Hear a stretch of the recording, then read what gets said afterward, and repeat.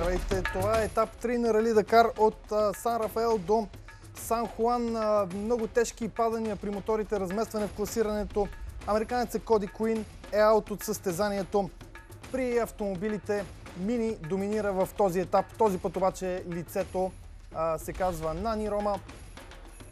Братята Патронели намериха своя ритъм и отново поведоха колоната в клас АТВ. Добър вечер, уважаеми зрители! Здравейте, приятели на високите скорости на големия адреналин. Продължаваме с студията, посветени на тази годишното издание на Рали Дакар. Ралито, в което има и българско участие в лицето на Петър Ценков и Младен Вачков в клас АТВ. Отново сме тук с колегата Христомир Николов, главния редактор на списание Offroad BG, Добър както вечер. и с а, една много интересна личност, четирикратния офроуд шампион на България, два пъти като навигатор, два пъти като състезател Траян Траянов. Добър вечер. Добър вечер. Ами, днес имаше много адреналин по а, етапа от, а, Рафаел, от Сан Рафаел до Сан Хуан. Само да споменем, а, 208 км специален етап за коли и камиони, 270 км специален етап за мотори и АТВ-та. Е, Определено интересна отсечка, определено зрелищни а, падания на мотоциклетистите. За щастие нито един много сериозно пострадал мотоциклетист няма днес. А, определено нямаме новини от нашите, в смисъл имаме, но не добрите, които бяхме свикнали от първите два дни. А, все още Пепи и Младен са по трасето. А, проблеми с електрониката, за които ще говорим по-късно. Имат забавяне на около час и половина са от водача, който завърши Маркос Патронели. Но да се надяваме, че ще се доберат до финала успешно. А, Вчера това, което стана а, въпрос в студиото в разговора ни с Петър Ценков, а, нашите момчета имат сериозен проблем с инжекциона, с а, надморската височина. Траян е би ли ни обяснил защо машините на българите изпитват затруднения с това да обясним на нашите зрители? Ми, първо добър вечер да кажа на зрителите. Значи, един от огромните проблеми, които съществува при АТВ-тата, тези, които са с инжекция, е това, че те са настроени за определено количество гориво да се впръсква всеки път в цилиндъра, но не то да се променя в зависимост от височината. Според това, на какво надморско, на, според това каква надморска височина влизат АТВ-тата, колкото повече нагоре се качват, то е ясно, че кислорода става все по-малко. И нашите състезатели така или иначе не могат да се представят добре, защото количеството гориво става все по-бедно и по-бедно. С увеличаването на надморската височина, това непрекъснато ги затруднява и започват АТВ-та да намаляват своята скорост, докато накрая започват вече да обедняват до толкова, че въобще не могат да върват. И тяхната мощност от определено количество гориво, което може да се впръска в цилиндъра при а, надморска височина на 0, така да го кажа, на морското равнище, при 2000 или 2500 метра вече става непоносимо и нашите АТВ-та стават почти неуправляеми по проста причина, че тя няма достатъчно мощност. Оттам идват и всичките проблеми с АТВ-тата. Това е в общи линии. Добре се представят тези, които са карбураторните, по проста причина, че при тях това е механично отстранено и могат а, техните пилоти по много лесен и обикновен начин да увеличават количеството гориво, което, се, което е необходимо за АТВ-то. Добре, тук а, може би идва резонния въпрос, защо има хора, така състезатели, защото не е само нашия отбор, които карат с а, инжекциони. Ами нормално е навлизат нови технологии. Все пак а, избора на една машина не е важен само към двигателя, от много параметри, като проходимост, като център на тежест, като капацитет. И все пак в нашия случай миналата година Пепи също заложи на Канам Renegade. Затова тази година той му знае поне повечето детски болести и идеята беше да не се допускат авариите, които тогава го сполетяха. Ами, добре, каза миналата година а, участието на Пепи с а, подобна машина. Не, не е имал такива проблеми. С Пепи преди да заминем обаче си говорихме за проекта му следващата година.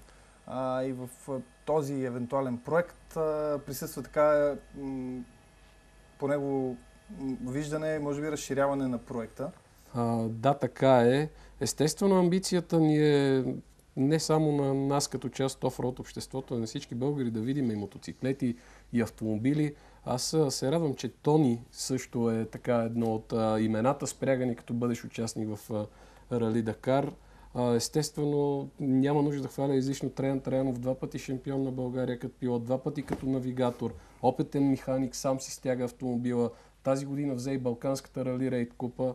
Да, така е, но естествено всичко опира до финанси, така че... Да, това не, не може да е за нас, за никой да. тренер. Как, как ти гледаш на един такъв проект? Ми, това е една огромна хапка, която трябва да, да се пробва човек. Значи предизвикателството е огромно. Извинявай, и... ще те прекъсна само за секунда, защото Радо Любомиров ми казва, че в момента имаме Димитър Ортаков, Омбрето, механика на отбора от Аржентина, директно на телефона. Така ли е, Митко? Да, чувам много добре. Здравей, Митко. Ми, м- кажи какво се случва около теб. Пристигнаха ли момчета в бивака и а, обясни а, какво се случи Значи, днес в етапа. Да. Момчета още не са пристигнали в бивака, чакаме ги всеки момент. Днесният етап, за съжаление, трасето на мотоциклистите е по-дълго с около 70 км от а, трасето на автомобилите и камионите. Нашите момчета имат проблеми с АТВ-тата, губят мощност при качване на различна надморска височина, а днес етапът е доста високо. И поради тази причина се движат много бавно, 70-80 км в час, докато останалите машини нямат този проблем и се движат 120-130. Етапът е доста бърз. Чакаме ги всеки момент да пристигнат и ще гледаме тази нощ да отстраниме проблема, който се е появил. Все още не знаем точно на какво се дължи това. Вчера правихме диагностика на машините, нямаше никакви проблеми. Тук се консултирахме с местни хора, които карат на тази надморска височина и при тези условия. Казаха, че може да от самото гориво, което зареждат. Това ще го проверим сега, като дойдат. И това е, иначе настроението е добро. Чухме се днес с тях. Тук съседния отбор за нас на МД Рали. Едно от бъдите успяло да ги замине по трасето. Трябва да ги питат имат ли нужда от помощ, те са му казали да продължават. Тоест не се нуждават от помощ, просто се движат малко по-бавно и ги чакаме. Това е. Всички години чакаме те да се появят, за да може да работим по машините и да им помагаме. А, как планираш да бъде отстранен този проблем и по какъв начин? И има ли други проблеми по машините, освен а, това, което спомена? Не, проблемите с машините са минимални. Вчера имаше един изтекал амортисьор. Сменяваме гуми, тъй като мусовете, които сме сложили в едните гуми от високата температура, се размества нещо в тях, почват да крият гумите. Като дойдат, това, което ще направим, ще сменим едни датчици, които определят надморската вещина и температурата на входящия въздух. Предполагаме, че от тях дава някакъв дефект и обедняват места. Ще проверим какво е качеството на сместа, ще проверим и помпата бензиновата, да видим дали в нея няма някакъв дефект или това да няма достатъчно налягане на горивото така се надяваме да отстраним проблема. Машините държат добре до сега, момчетата също в много добро състояние, свежи са, не се оплакват, няма някакви по-съществени проблеми. Тук колеги около нас чухме, че има закинал тевист от Аржентина, нали, но в бивака Рами Викар минава някакси покрай на всеки си гледа само неговите задачи и неща и не виждаш какво става около тебе, така че не мога да дам по-глобална информация за самото състезание. Ясно. Добре, благодаря ти. Пожелавам успех. Дано а, да няма поражение по машините на нашите момчета, да се справиш ти бързо с а, твоята работа и а, стискаме палци за следващия етап утре. Ами това беше Димитър Ортаков. А, спомена какви са проблемите, това, което говорихме Точно това е, и но преди това. явно има някакво решение, което Мгм. те са а, взели относно това обедняване или обогатяване на сместа, когато се налага. Дано, дано се справят. Относно това, което той спомена за загиналия тевист, а, а, бих казал, че по-скоро става въпрос за мотоциклетиста, за който ще говорим по-късно, защото до сега информация, поне до преди броени минути, нямаше за такъв Точно така. случай. Информацията е А, там на място. Знаете, много е трудно за състезателите да се интересуват чисто новинарски какво става около тях. Нормално е под това огромно напрежение, под което са те, нали, да, да не могат да знаят всичко, което става и не е тяхна работа, не са затова там, разбира се. Ами добре, направо да отиваме тогава към а, клас АТВ. Ето какво се случи днес в етап номер 3.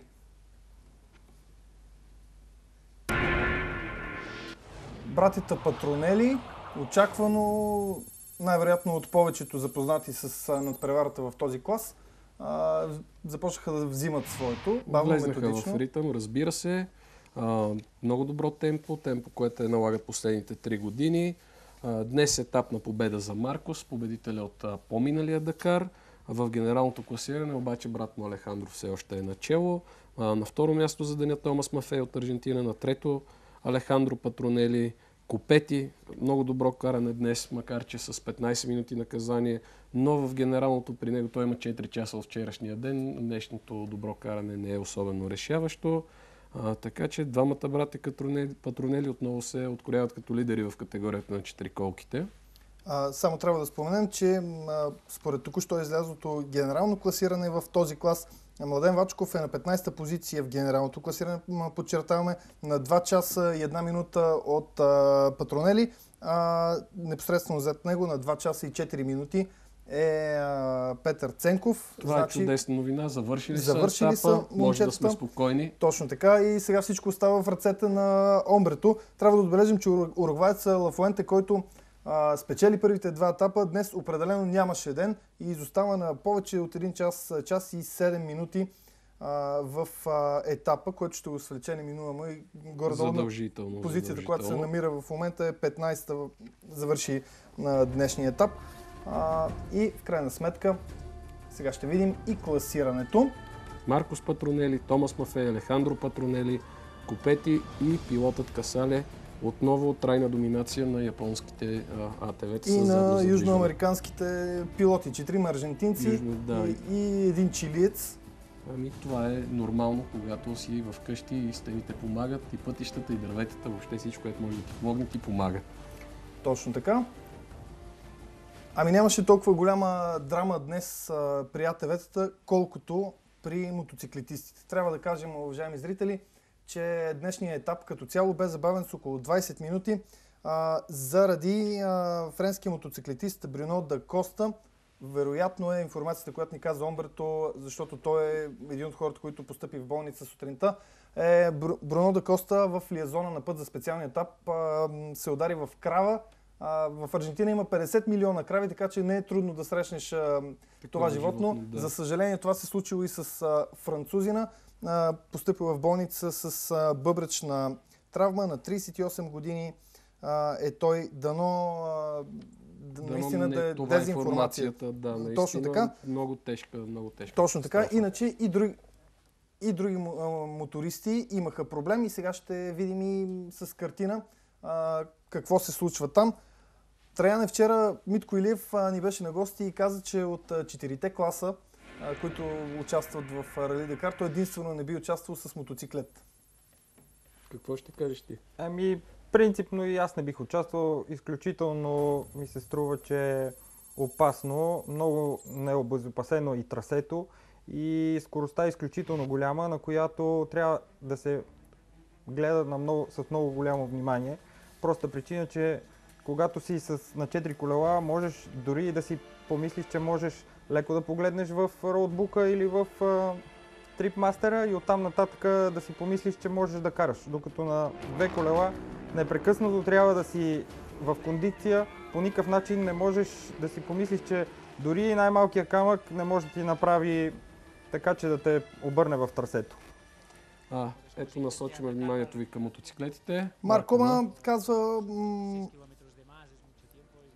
обърках пътя Опитвах да увелича разликата и не се получи, а когато бързаш се случват а, грешки. Вчера беше моят ден, днес очевидно не. Утре има нов етап, там ще опитам да компенсирам. Става въпрос за грешката, която допусна кома. Да. А, след а, презареждането с гориво, а, обърка трасето, обърка трасето пое по автомобилното. След което се върна, това му коства много време и естествено от това веднага се възползва неговия архиврак Сирил Депре ето с етап на победа днес Депре. Ето го и Сирил, който казва, опитах се да увелича разликата днес, не, това разбира се го каза Кома. В един а, момент спрях да виждам следи пред мен, не разбрах какво стана и когато пристигнах ми казаха, че съм първи и Кома не е минал пред мен. Трябваше да е добър ден за него. Хубаво е, че не е пострадал. Иначе аз съм доволен от а, своето представяне. Няма как да не е доволен Сирил Депре, който спечели етапа. А, ко, с Кома двамата се движиха буквално рамо до рамо. До грешката на изпанеца, разбира се, след което никакви проблеми за Депре Франс Верховен на второ място за деня, пилота на Шерко с добро каране, но на 8 минути и половина от Сирил Депре. А, голяма разлика. Явно французина днес е бил наистина недостижим. Това е бил денят на Сирил Депре, ако може така да обобщим.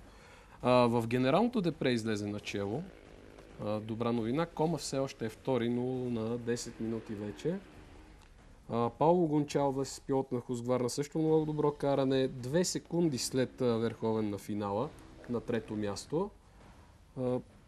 Един от опитните пилоти, който видяхме за кормилото и на други марки, ето това падане, което виждате, ако е на Гончалвес, явно не се е отразило много на Ами не се е отразило, но имаше доста падания в... а, Да, този това е едно от поредицата документирани от операторите на АСО, но а, имаше и доста други. Нормално бърз етап а, подлъга, подлъга мотоциклетистите. А, Хелдер Родригеш от Португалия, пилота на Ямаха с четвърто време днес. Стабилно каране. Показа се най-после. Той от скритите фаворити, всъщност не е и скрит фаворит. Той е явен фаворит, Явен според фаворит, мен. Време така. беше да излезе по-начало и в светлината на прожекторите. Също добро темпо, 10 минути след водача днес за деня. Пето място в генералното класиране на близо 20 минути обаче от Депре. Ето го и най-големия кръг за деня, Queen Коди, американската офроуд легенда. Много добро представяне до момента, но след малко ще видите какво точно се случи с него. А той вчера имаше сериозни проблеми с а, повреда на мотоциклета, с а, горивната помпа, а това ужасяващо падане, уважаеми зрители, сложи край на участието на американеца в тази годишното издание на Рали Дакар. доста, доста сериозно падане за него. За щастие, въпреки нараняванията, няма опасност за живота му, но нека разберем повече от самия него.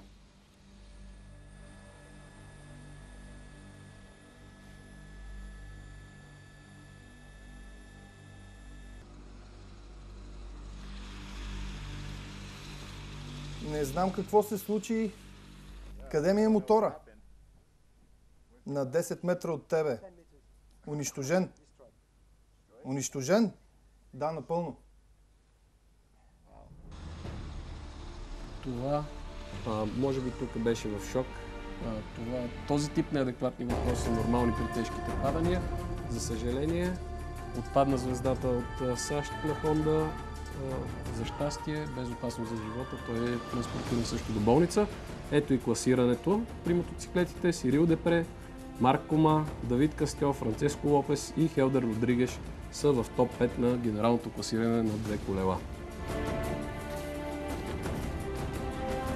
Така, а, Продължаваме с а, колите и тук Траян вече може мощно да се включи в, а, в този клас. Говорихме си преди предаването.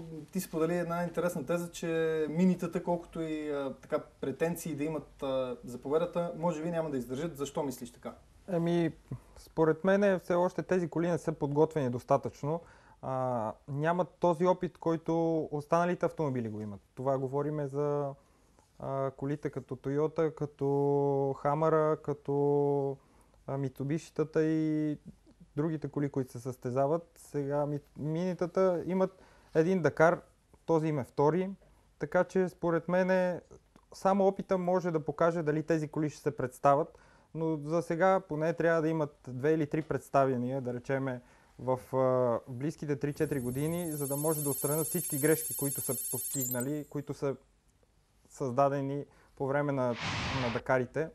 Така че за сега нищо не мога да кажа, но според мен колите са изключително твърди, изключително бързи са, действително добре се представят за сега, но имат още страшно много време и страшно много километри, които трябва да минат. А според мен изпитанието ще е най-накрая, когато завърши Дакара, за да констатираме дали действително моя, моята преценка е била точна или не, но според мен това е за сега. Ето на вашите екрани вчерашния победител Насар Алатия.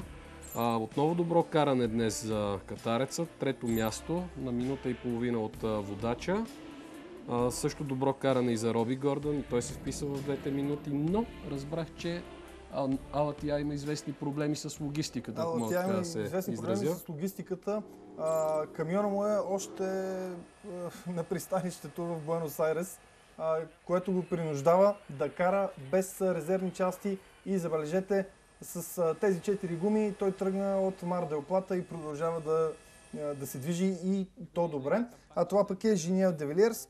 А, в такъв етап лесно може да спукаш гума. Започнахме много добре. но след 50 км имахме проблеми при пресичането на една от реките, развалиха се дюзите с водата за чистачките и не можехме да чистим добре стъклото. Класирането ни обаче е доста добро според мен. Точно така е. Днес южноафриканската звезда е на четвърто място. Орландо Теранова на вашите екрани. Също добро каране днес. Шесто място. А, 6 минути след Петър Ханзел. Не е много добър ден и за Петър Ханзел. Ако Никак не е Можем добър да ден. кажем.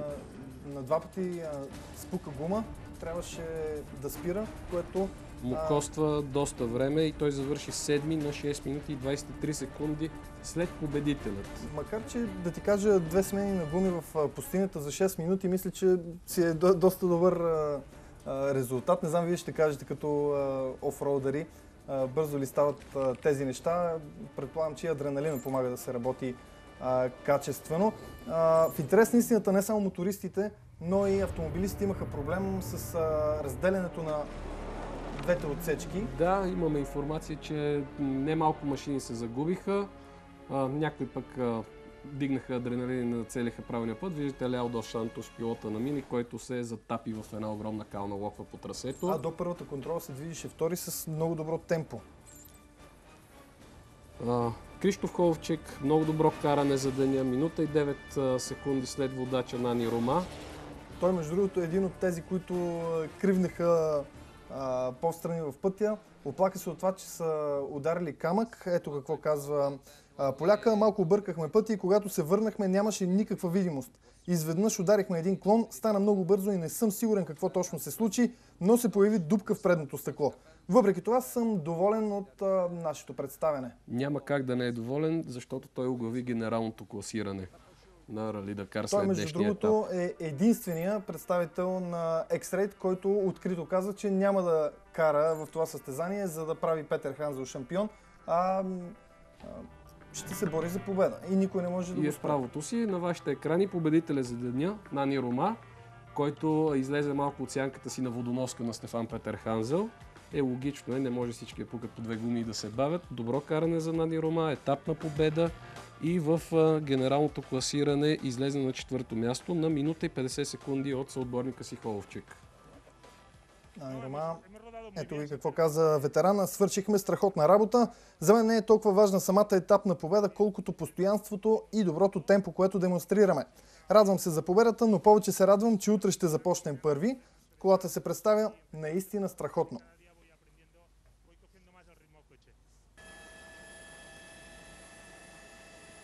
Всеки момент ще видим и класирането. И така Нани Рома с първа етапна победа в тази годишното издание на Рали Дакар. Кшиштоф Холовчиц на второ място на Сър Алатия на трето.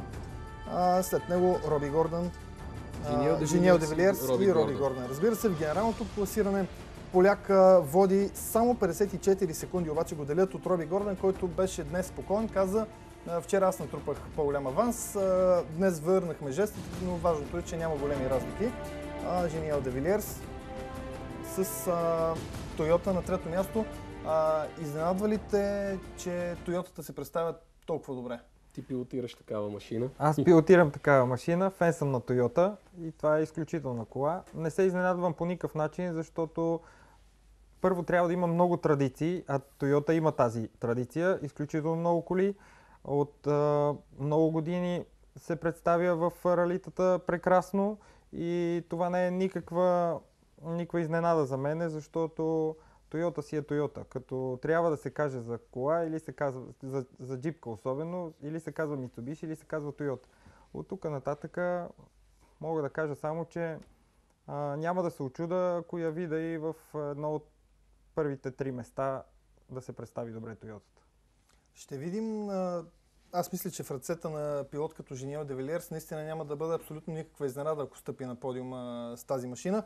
А, време да минем и към последния клас. Камионите, тях ще ги обсъждаме малко с закъснение, защото а, те последни тръгват по трасето и общо взето ще обобщаваме това, което се случва от предишния ден. А това, което се случи е, че и векото с холандски екипаж Дерой, а, Родевалт и Колсю е консол на първо място.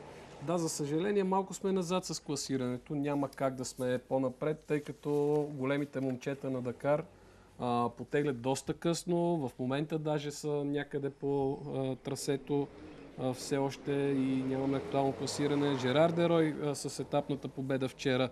Едуард Николаев показа, че Камас е жив. А, че Камас може да го способства на постигната второ място за етапа. Трети Хан Стейси отново с Ивеко. А, също е класирането и в а, генералното класиране същата подредба. А на четвърто място Мардеев, също с Камас. И на пето място Алес Лопрайс с един от най-мощните камиони в Рали Дакар. Лопрайс трябва да разбере, че той е с 1000 конски сили и 3600 Нм. Представете си за каква машина говорим. А, на времето с а, такива капацитети се славеше а, бащата на Жерар Дерой, Ян Дерой. Интересно се очертава битката при най-големите машини. А, няма го това, с което бяхме свикнали. Чагин, Кабиров, Кабиров, Чагин. Виждате, разменят се,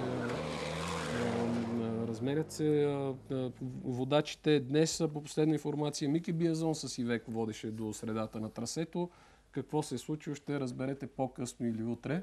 За сега това е информацията, която имаме в класа на най-големите момчета. Добре, и сега е време да кажем няколко думи за утрешния етап. Траяне ти а, имаш интересно мнение за него. А, толкова важен ли е утрешния етап, а, който е от Сан Хуан до Челесито, 750 км, от които 326 специален и с красивите каньони на Риоха и корита на пресъхнали реки. И за този етап мога да кажа само, че те почти са казали, че това е ситото. Тук колите ще бъдат почти отсеяни, тези, които ще са много добри, тези, които ще се представят а, с а, изключителна издържливост. Там нещата вече ще придобият характера, който си има това състезание. Издържливост, здравина и там желязото ще покаже дали ще може да издържи и дали психически а, всички пилоти ще могат да са актуални, за да могат да стигнат до финала. Много е важно всичките пилоти просто да се концентрират особено много върху трасето и върху навигацията. Там нещата вече са изключително важни, особено за следващия утрешния етап. Определено взривоопасна смес са подготвили организаторите от много голяма надморска височина, пясък, черни пътища, каньони, технична навигация. За щастие този път трасето е еднакво за всички типове машини, няма да има нелепите грешки от днес. Но да видим какво ще ни донесе утрешния ден, какво ще донесе най-вече на нашите двама пилоти, които, както разбрахме, успяха да финишират и днес успешно а, своето участие в Рали Дакар 2012. Ще видим сега в края на предаването. Много ми се иска да отделим една минутка за поредната жертва на Рали Дакар. Става въпрос за аржентинеца Хорхе Мартинес Буеро, който а, загина още в първия етап. А, вчера с нощи бе неговото погребение в а, родния му град Боливар. Хорхе Мартинес Буеро загина на 38 години, 2 км преди финала на отсечката от 57 км. Това, което можем да кажем за този голям смелчага, баща му бивш шампион на Аржентина. Това бе второто му участие за Дакар и още по-важното, той толкова много желаеше това участие, че дори е продал апартамента си, за да си осигури финансиране.